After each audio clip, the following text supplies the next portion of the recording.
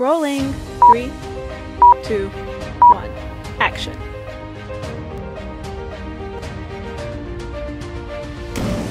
Welcome to Hochoka Podcast. Hello, Mitakuyapi, and welcome to Hochoka here at the center of St. Joseph's Indian School campus.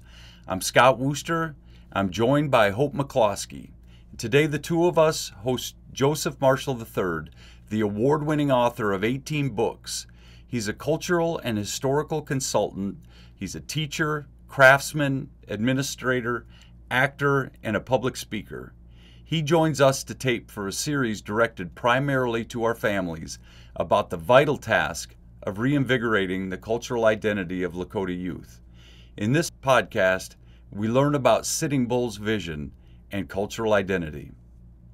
Joseph, thank you so much for joining us today. It's good to have you here. Thanks for inviting me. I'm glad to be here. Looking forward to it. All right, so I'm going to go with a, a heavy hitter with this Okay. question here. Okay. Sitting Bull's vision before Greasy Grass is huge. Yes. Can you tell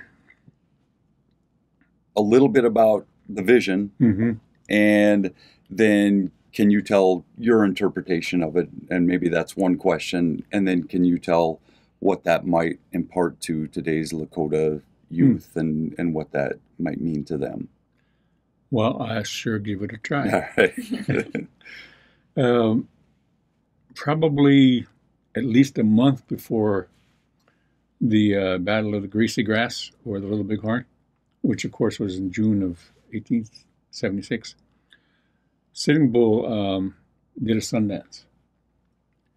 And which was unusual because it was in the spring and Sundances don't usually happen till, you know, midsummer. But he felt that the situation was important enough, I'm sure, that, that something like this was obviously warranted. Um, and so he f- did all the usual protocols. He offered 50 pieces of flesh from each arm um, for the Sundance. And, and during the Sundance, sometime in the process, he had a vision. He went into a trance and had a vision. And in his vision, he saw literally uh, men and horses, cavalry soldiers, or, or, or long knives, as we call them, milahanska, falling from the sky, upside down, into the circle of a Lakota encampment. That was basically his vision. And so he reported his vision to everybody who was there, uh, especially to the other elders. And of course, there were immediate reactions to what the vision might mean. And everybody was, the consensus was that this foretold a victory over the long knives Mhm. because these, the soldiers and their horses were falling from the sky, bloodied, and obviously having been in battle. Um, and somewhere in that, he heard a voice. And I don't know the words exactly, but that voice said to Sitting Bull, said, uh, I give you these because they have no ears, and do not take anything that belongs to them. And so, of course, he reported all that too.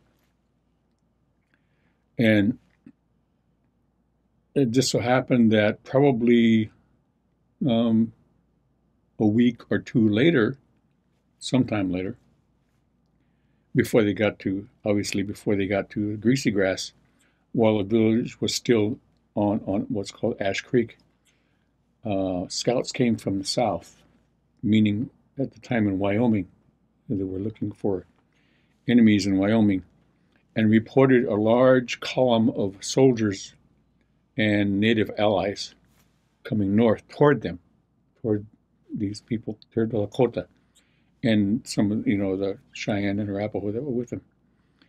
And there was this was a large body of soldiers. I mean, several hundred, if not a thousand or so. And so the scouts went directly to Crazy Horse because Crazy Horse at that time was the overall military leader. Uh, Sitting Bull was probably the overall political leader at the time. So the scouts reported to Crazy Horse what they had seen.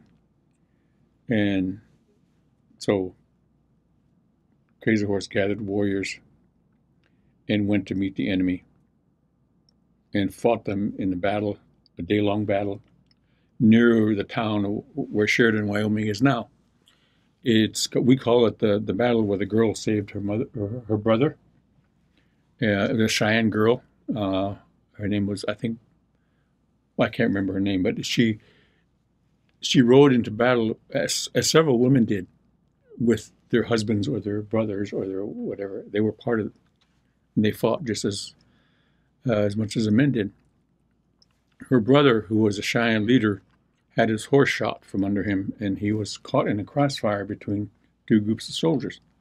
So this young girl, probably 18, 19, 20 years old, was on her horse. She rode in the middle of that the crossfire and rescued her brother and rode out with him.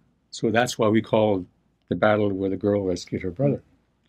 It's otherwise known as the uh, uh, Rosebud Battle that occurred on June 17th.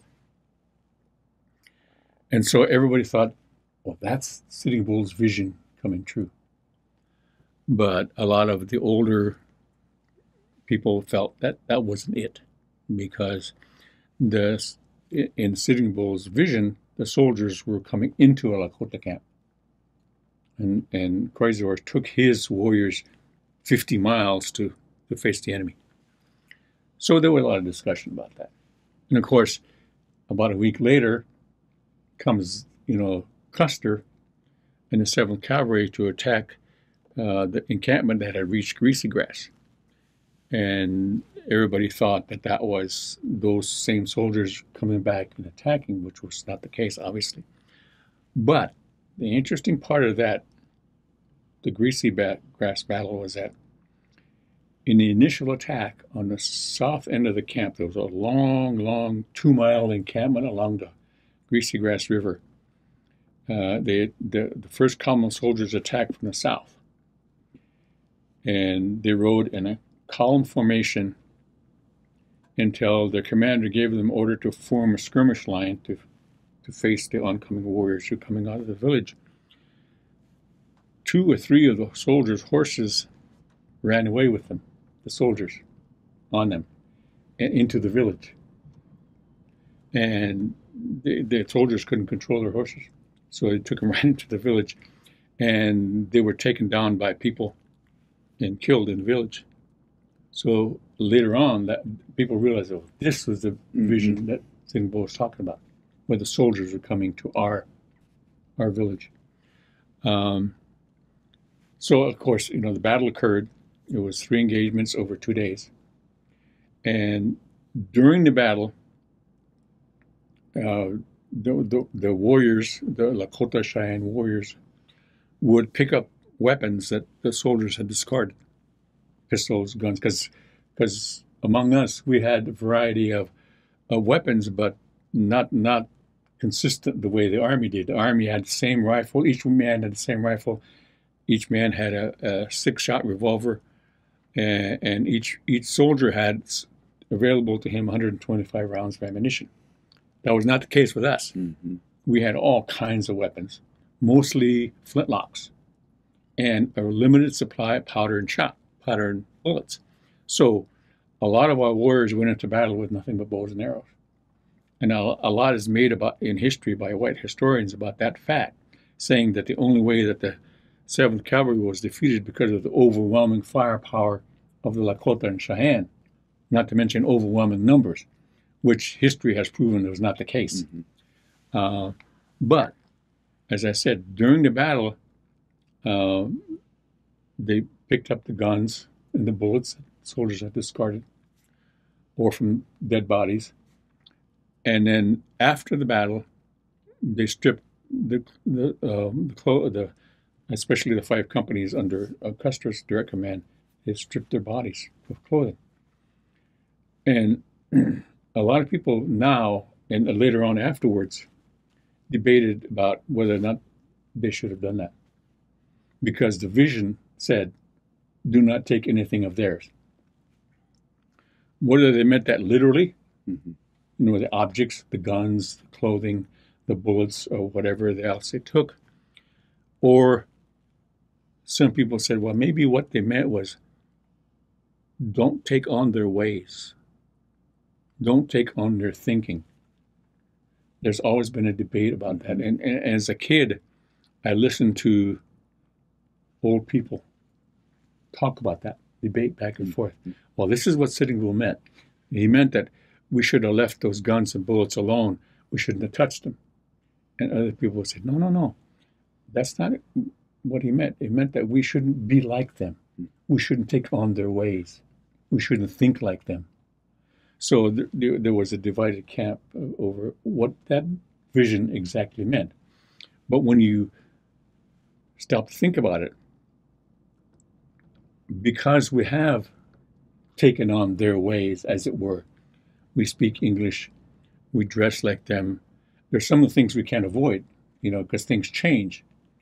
Uh, but when we start accepting their religion, we start accepting their lifestyle, then we're taking on their ways. And a lot of people think that we shouldn't, we should not have done that. We shouldn't do that. Mm-hmm. We should, you know, maintain who we are as a group of people. So it all depends on which of those arguments you, you buy into. Right. It's still an interesting argument. Right. And as a kid to hear that argument mm-hmm. in from people who were uh, right. closer to it at exactly. least anyway exactly. must have been fascinating. Right. And did you ended up writing an entire book just about the battle, right? Exactly. Yeah. Exactly. Yeah. And the name of that was is the day that world ended at Little Big Horn. Yeah. yeah. Right. I read that quite quite a long right. time ago. But if uh, if anybody ever wants a, a very in depth look at that battle, that's mm-hmm. a that's a great resource, a great book for right. that. Um, I the last part of that question was, uh, what message does it have for today's Lakota? And I don't know if we we answered that or if we need to to go uh, more directly well, with it. You know, it, like I said, it all depends on which of those arguments you you buy into. Yeah whether it was just literally just physical objects or, or the ways of the white people. Uh, but the fact remains, whatever argument you adhere to, we have lost a lot of our culture through acculturation and assimilation. Some of that was forced on us. You know, there's there's no getting away from that.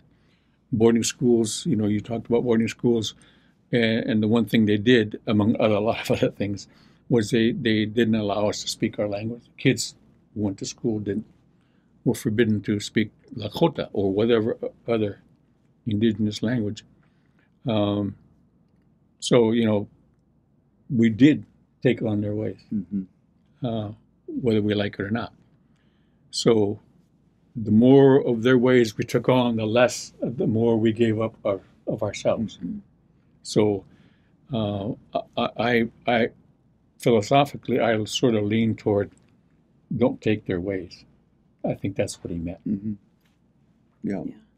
And I look at it as it, working here at St. Joe's. I've been here 28 years now, and I just I think it's so important that we as an organization take every opportunity to make sure mm-hmm. that the kids have that pathway to find those kinds right. of things and that we we find people who can continue to teach those things and, exactly. and find a way to get it need. to the kids. Yeah. Right. Yeah. And I know that as an alumni of St. Joe's, um, I, I've learned a lot from here, you know, from like teachers and classes and other extracurricular activities that mm-hmm. they have going on here and things at home that my grandparents, that my mom, and just overall like environment have taught me. And I mentioned this during the break that since I'm away at school and I'm not in an environment where they culture Lakota and uh, and I, guess just that sense of identity. Mm-hmm. And I'm away from home. That it's it's harder to grasp on that identity and learn more and to keep those um, that knowledge relevant. You know, because mm-hmm. at my school they they don't have a big Lakota population. They don't have a big American Indian population. Mm-hmm. There's probably ten of us on campus, including me. You know, which is it's hard to relate to other people especially you know like i have a, a, a different background than even most american indian mm-hmm. kids native american kids because mm-hmm. i went to a boarding school and mm-hmm. most of them have stayed on the reservations um, but I know that, that I've learned a lot from this talk. You know, like I, I, I just remember that story of where the girl saved her brother. You know, like I've Mhm. learned that so long ago. And when he mentioned it, I was like, oh my God, I know that story. Right. You know, what a surprise. I actually Right. know something. And so it's just, yeah, it, it's it's hard because I've said before that there's a lot of distractions. There's a lot of things kind of keeping a lot of Lakota people from maintaining the culture, you know. And uh, I've been introduced to a lot of things, but I know that there's some things that I will forever grasp on from from my culture, my identity. You know, Mm. like the way I look, for one, is something that I'll never be able to let go of, nor will I ever want to. And um, just my spirituality is never going to change. You know, like I, I still believe in Tunkashila. I still believe what's going to happen to me and my family as long as we progress. You know, like w- the way we keep things is it's going to be benefit uh, like beneficial to all of us. I know that and I believe that. So and but I don't know how other people are being taught as well because I've never talked to, you know, like somebody in school and said, "What do you do at home?" You know, like, do you Yeah. go to Sundance? What do your grandparents teach Right. you? I've never had, I've never thought to have those conversations with people my age that come from Lakota backgrounds. You know, like I, it's never been a thing that I I would want to bring up either because it feels so intrusive. But I feel like maybe at some point I would have to, you know, just say, "How much do you know about our culture?" But I I know that as an undergrad student who's nearing the end of her four years, uh, I have a lot to consider from this conversation alone, from just this one little snippet of talk right now versus all uh, all the other things we've talked about today. Right. And so I know that I'm looking forward to the next part of this conversation and seeing what I do know and what I don't know and what I should learn. Joseph, once again, thank you for joining us here in the Hochoka at the center of St. Joseph's Indian School campus, where we talk about issues central to Native America today. Until next time, stay centered.